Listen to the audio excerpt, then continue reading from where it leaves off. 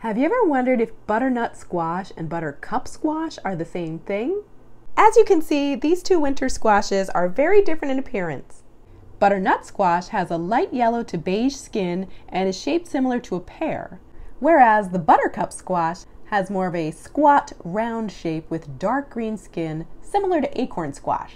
While these two squashes look very different on the outside, they both have a beautiful orange colored flesh inside that is super sweet when cooked.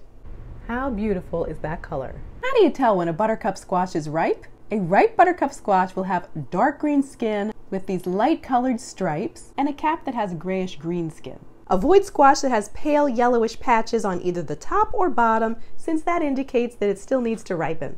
The stem where the squash attached to the vine should be dry. And when you tap on the buttercup squash, it should have a hollow sound rather than a dull thump.